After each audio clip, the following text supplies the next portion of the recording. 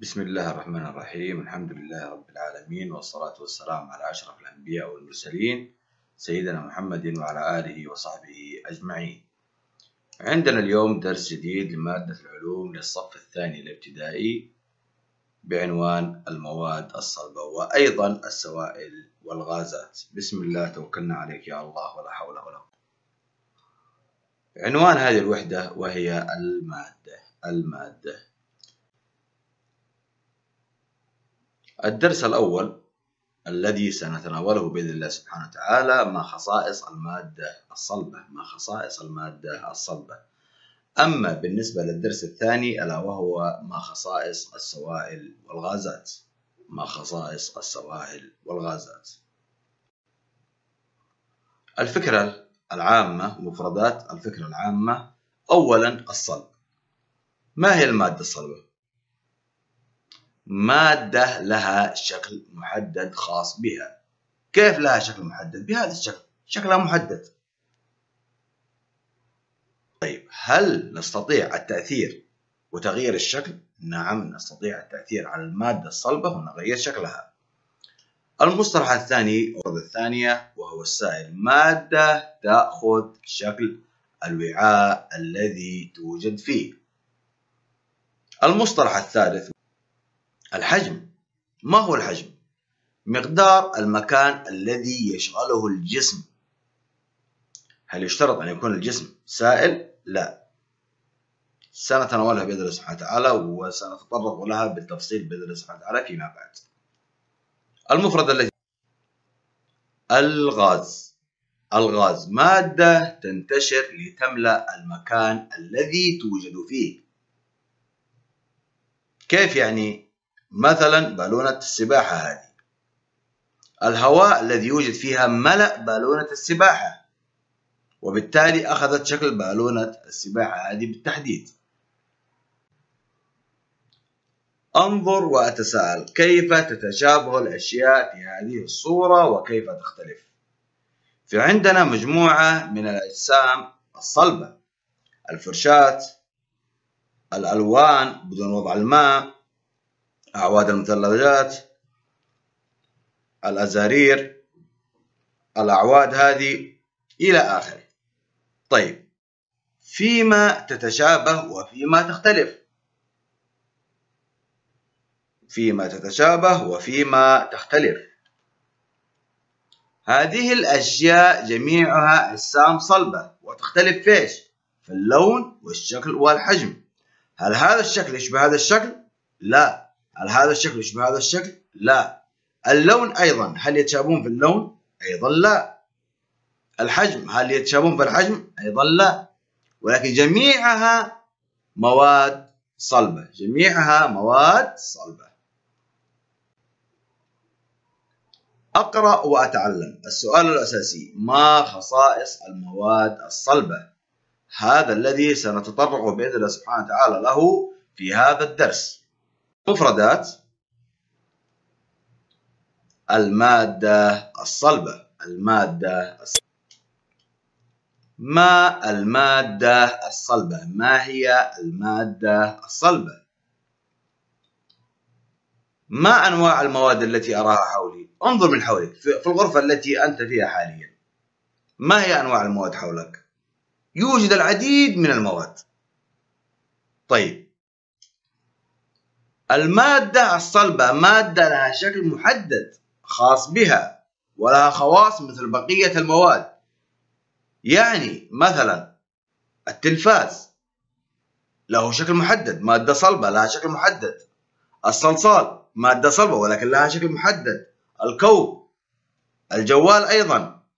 النظارة المواد الصلبة لها شكل محدد ولها خواص. زي إيش الخواص؟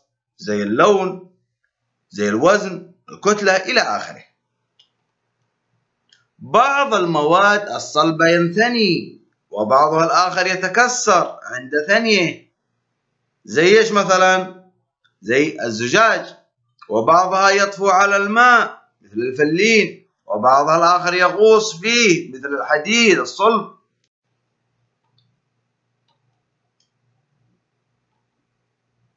تتكون المواد الصلبة من مكونات مختلفة.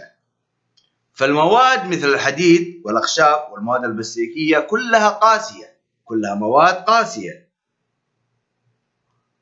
بينما قد تكون المواد الصلبة خشنة أو ناعمة الملمس. ما هو شرط أنه أي مادة صلبة تكون خشنة ولا هو شرط أنه أي مادة صلبة تكون ناعمة. قد تكون خشنة وقد تكون ناعمة واضح يا بعض خواص المواد الصلبة فعندنا المادة الأولى الصخر هذه الصخرة ما هي خصائصها؟ هل هي صلبة ولا لا؟ صلبة قاسية ولا لا؟ قاسية بها نتوءات أو لا؟ نتطرق لها بإذن الله سبحانه وتعالى حاليا قاسي منقط خشن. هذه أبرز الصفات الموجودة في هذا الصخر. ننتقل إلى المادة الأخرى. هذه الخيوط الملونة. اذكروا لي بعض الصفات فيها.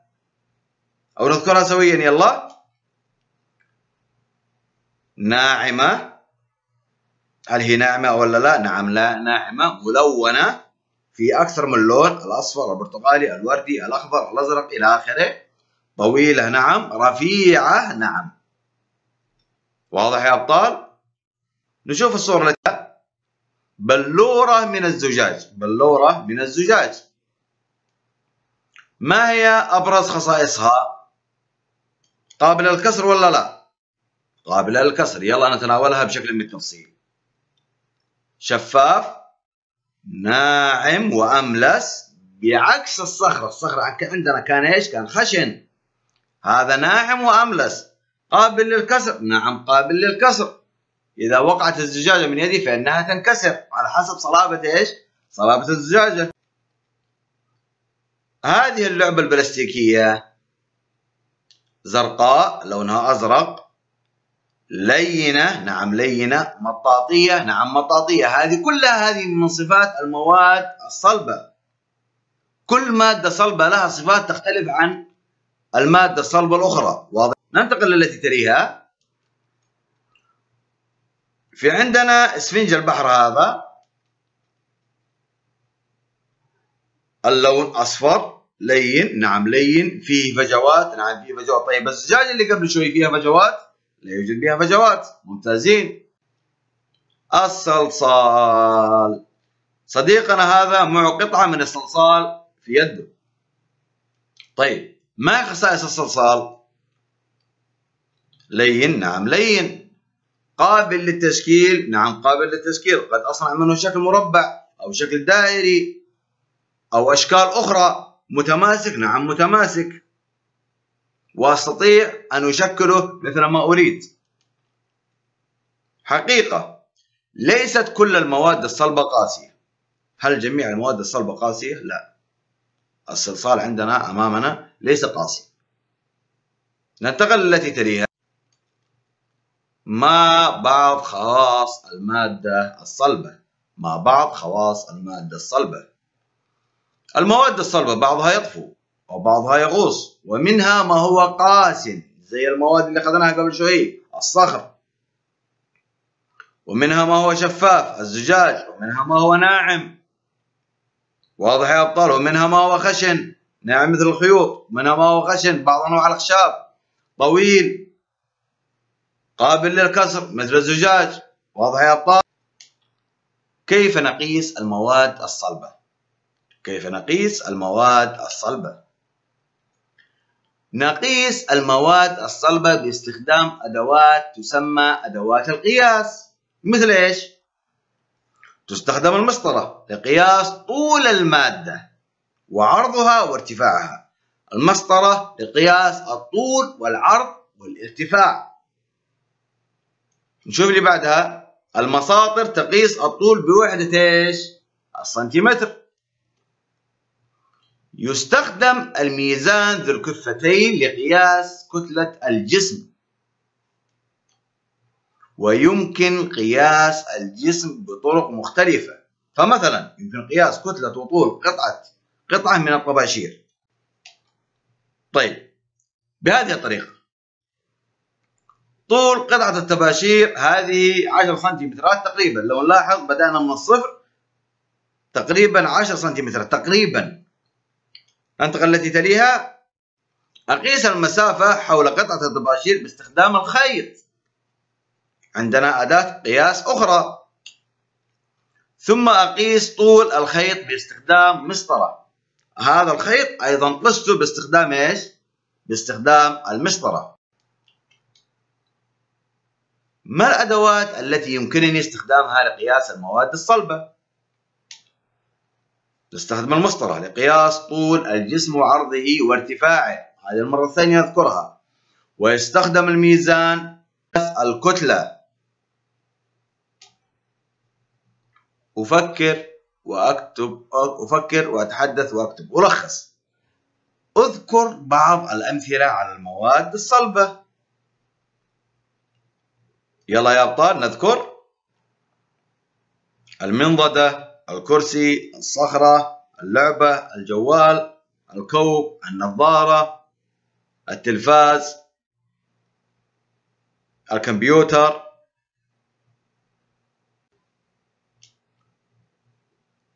كيف يمكنني قياس المادة الصلبة؟ زي ما ذكرنا قبل شوي قلنا في عندنا أداة تقيس الطول والعرض والارتفاع. نستخدم المسطرة لقياس طول الجسم وعرضه وارتفاعه ويستخدم الميزان لقياس إيش؟ الكتلة. ممتازين.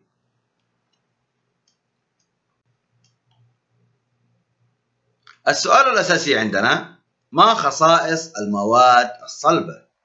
ما خصائص المواد الصلبة؟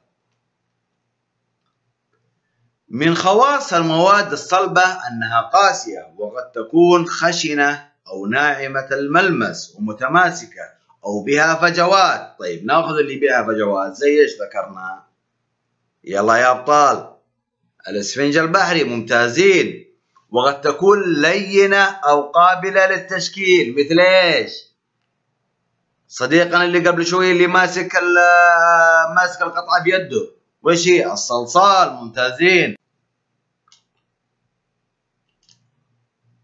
حاليا ننتقل إلى الدرس الثاني عندنا لهذا اليوم ومراجعة سريعة لهذا الدرس وهو يتكلم آه، عن السوائل والغازات. انظر وأتساءل. أي الأوعية؟ في عندنا مجموعة من الأوعية موجودة في الخلف.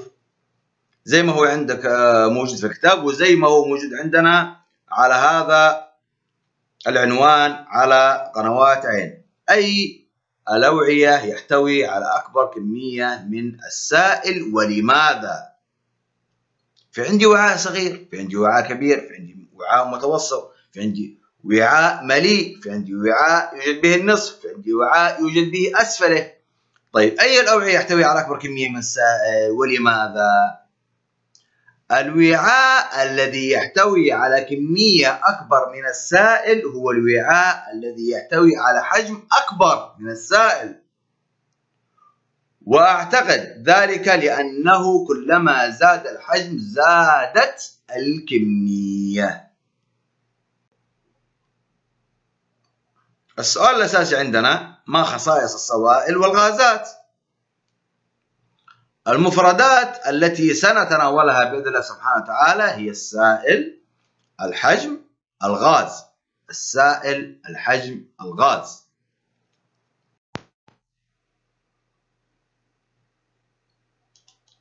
ما السائل أو ما هو السائل؟ السائل نوع من المادة يأخذ شكل الوعاء الذي يوضع فيه. بمعنى إذا وضعنا السائل في وعاء مربع فإنه يأخذ الشكل المربع. إذا وضعنا السائل أيضا في وعاء دائري فإنه يأخذ شكل الوعاء فيه. المقصود من الكلام أنه أي وعاء مهما كان شكله وضع فيه السائل فإن هذا السائل يأخذ شكل الوعاء الذي يوضع فيه. فإنه يأخذ شكل الوعاء الذي يوضع فيه. وإذا لم توضع السوائل في وعاء فإنها تنساب ولا تأخذ شكلا محددا. جميع السوائل لها كتلة. أي سائل عندنا له كتلة. أي سائل له كتلة. بعضها خفيف كالحليب. السوائل عندنا منها ما هو الخفيف ومنها ما هو الثقيل. الخفيف كالحليب. من يعطيني مثال آخر؟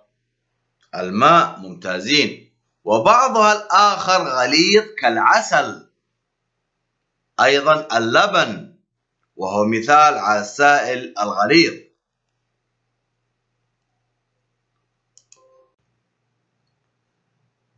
هذا الماء أخذ شكل سطح الأرض الذي تجمع فيه. لو نلاحظ هذا السد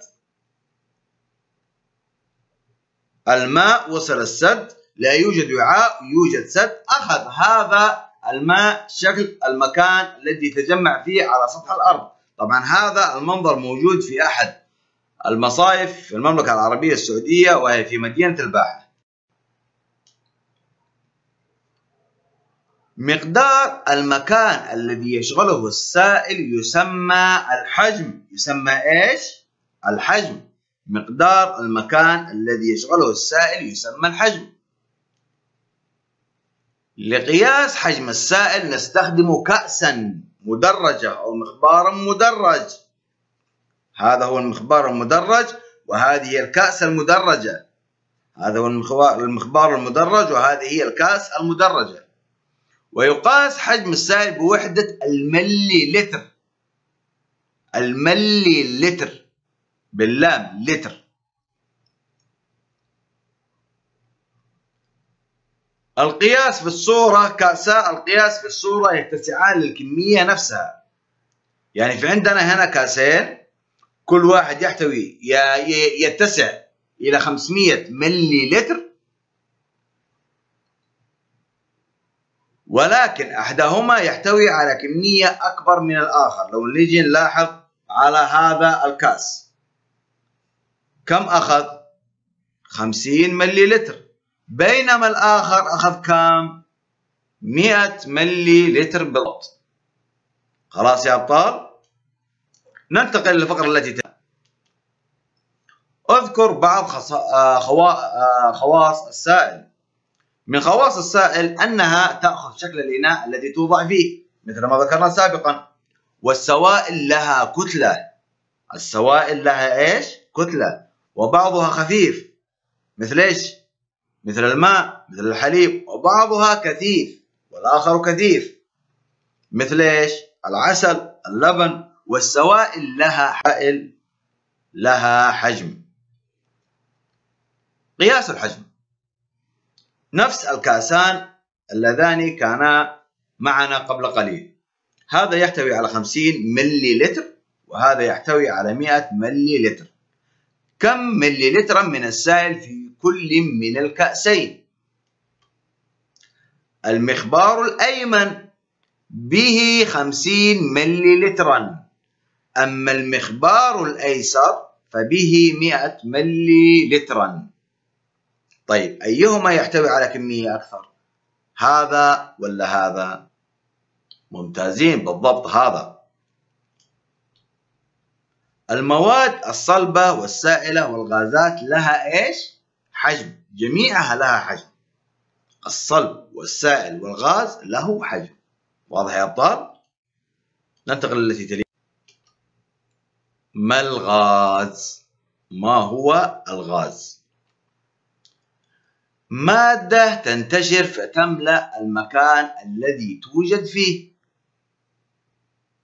مثلا انتشر الغاز في الغرفة ملأ المكان الذي هو فيه الغرفة امتلأت بالغاز. طيب هل نحس فيه؟ لا نحس فيه. الهواء الذي نتنفسه يتكون من عدة غازات. أحدها غاز الأكسجين. لا نرى الغاز في الهواء هل نستطيع أن نرى الغاز؟ لا نرى الغاز في الهواء ولكنها موجودة في كل مكان حولنا ونعرف أنها موجودة عندما يملأ بها بالون أو كرة لو أخذت بالونة وبدأت في النفخ وش اللي صار؟ امتلأت البالونة بالهواء هل يوجد داخلها غاز؟ نعم يوجد داخلها غاز طيب أول ما نشوفه ولكن من خلال البالون اتضح لنا أنه داخل البالون هذا يوجد غاز. كما نحس بالهواء عندما تهب الرياح. كيف نحس بالهواء؟ عندما تهب الرياح نحس آه، بهذا الغاز. المادة هي أي شيء يشغل مكانا وله كتلة. الغاز أيضا يعتبر مادة لأنه يشغل مكانا وله كتلة. كيف أعرف إذا أن للغاز كتلة؟ كيف أعرف أن الغاز كتلة؟ نأخذ عصا مثل العصا هذه. آخذ بالونين. أملأ أحدهما بالهواء. الآخر أتركه بدون هواء. وفي الوسط أضع حبلا مثل حبل الميزان. سنلاحظ أن الكفة التي يوجد بها البالون المملوء بالهواء تميل أي تعتبر أثقل. بينما هذه لا تميل لأنها تعتبر إيش؟ أقل. وبالتالي هذا أثقل لأنها مليئة بالهواء. تعمل العصا عمل الميزان. كتلة البالون المنفوخ أكبر من كتلة البالون غير المنفوخ. واضح يا أبطال؟ توجد الغازات في كل مكان حولنا هل توجد في غرفة؟ نعم توجد في غرفة هل توجد في السيارة؟ نعم توجد في السيارة هل توجد في غرفة الصف؟ نعم توجد في غرفة الصف توجد في الخارج أيضا توجد في كل مكان حولنا توجد إيش؟ توجد الغازات أفكر وأتحدث وأكتب أصنف أعمل قائمة بالأشياء الموجودة في الثلاجة قائمة أولا. ثم أصنفها إلى صلبة أو سائلة أو غازية. يلا أول شيء نعمل قائمة بالأشياء الموجودة في الثلاجة. بسم الله. المشروبات الطعام الماء الخضروات والفواكه وأيضا الهواء. طيب نبدأ نصنفها إلى ثلاثة ثلاثة قوائم الصلبة السائلة الغازية. المواد السائلة أولا المشروبات والماء. المواد الصلبة الطعام الخضروات الفواكه. المواد الغازية وهي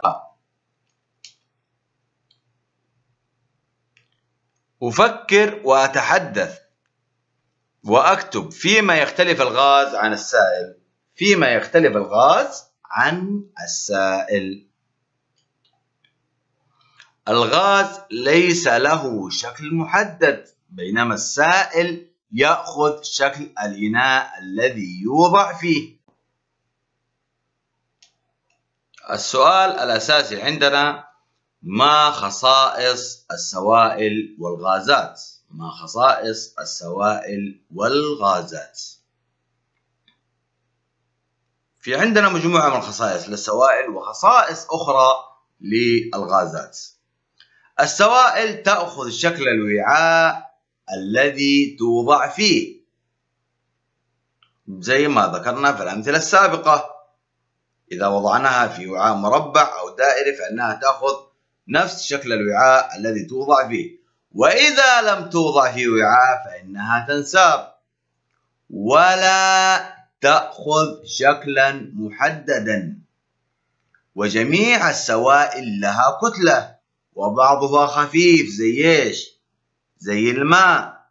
وبعضها غليظ ومثاله إيش؟ العسل أو اللبن. العسل أو اللبن.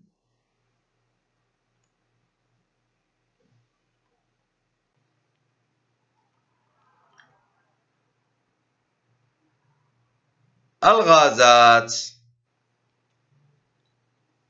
الغازات تنتشر فتملأ المكان الذي توجد فيه ولا نراها.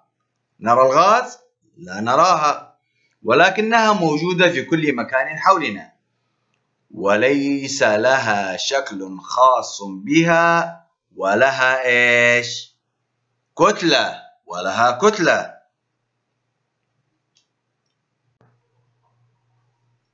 مراجعة الفصل التاسع. مراجعة الفصل التاسع. في عندنا المفردات أربع مفردات ألا وهي الغاز الصلب السائل حجما.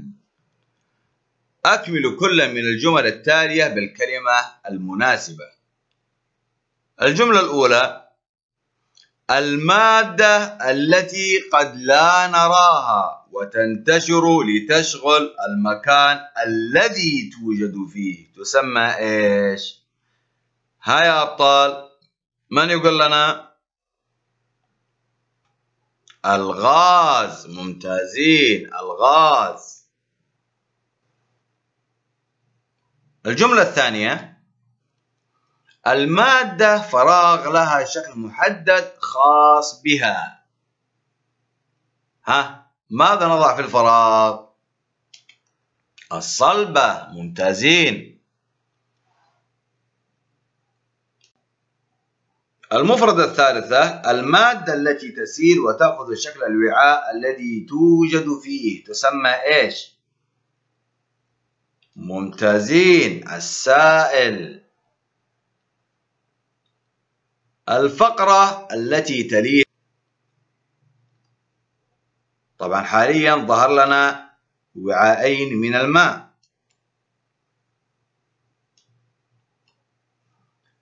تسع القارورة اليمنى فراغ أقل من من الماء مقارنة بالقارورة اليسرى ها؟ حجما ممتازين حجما. أجيب عن الأسئلة التالية أسجل البيانات. فيما تتشابه الكرتان وفيما تختلفان. أي الكرتين لها كتلة أكبر. طيب طبعا في عندنا هنا ميزان. الكفة مايلة جهة الكرة. هذه الكرة البنفسجية. هذه كرة وهذه كرة ولكن تختلفان في عدة طرق في عدة أمور. نتناولها بالتفصيل حاليا. بسم الله. تتشابه الكرتان في أن كل منهما مادة صلبة. هل هذه صلبة؟ نعم صلبة. هل هذه صلبة؟ نعم صلبة.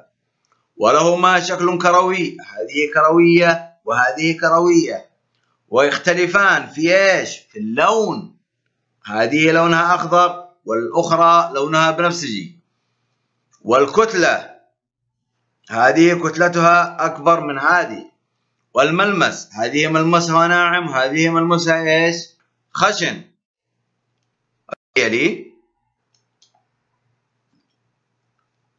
أجيب عن الأسئلة التالية. ولخص ما الأدوات التي يمكن استخدامها لقياس المادة؟ يمكن استخدام المسطرة لقياس الطول والعرض والارتفاع للمادة الصلبة. يستخدم الميزان في قياس إيش؟ في تقدير كتلة المادة. يستخدم المخبار المدرج أو الكأس المدرج في تقدير حجم إيش؟ حجم السائل أجيب عن الأسئلة التالية أقارن خواص المادتين الصلبة الآتيتين وش عندنا هنا؟ عندنا هنا صخر وعندنا هنا خيوط ملونة أقارن بين خواص الصخر وبين خواص إيش؟ الخيوط الملونة أولا الصخر قاسي منقط خشن بينما الخيوط الملونة ناعمة وملونة وطويلة ورفيعة واضح يا أبطال؟ ننتقل إلى السؤال الذي يليه ما نوع المادة التي تملأ هذه البالونات؟ هل هو سائل صلب؟ مادة غازية بالضبط. ما أنواع المواد المختلفة؟ المادة الصلبة والمادة السائلة والمادة الغازية. اختر الإجابة الصحيحة. طبعا هذه عندنا في نموذج الاختبار. انظر إلى المخطط المجاور. في عندنا غاز في عندنا سائل في عندنا صلب. أي العبارات تكمل الفراغ في المخطط؟ أشياء لا يمكن رؤيتها. الخواص المختلفة. أشياء لها شكل ثابت أنواع المادة. ها؟ ما هي الإجابة الصحيحة؟ ممتازين. أنواع المادة. التي تليها. انظر إلى الصورة في عندنا خيط وكأس قياس ومسطرة والميزان ذو الكفتين. أي الأدوات يمكن استخدامها لقياس الحجم؟ هل هو الخيط؟ أم كأس القياس أم المسطرة أم الميزان ذو الكفتين. ها يا أبطال. كأس القياس بالضبط. وبهذا نكون قد انتهينا من درسنا اليوم هذا وصلى الله على سيدنا محمد وعلى آله وصحبه أجمعين. وأرجو من الله التوفيق للجميع. السلام عليكم.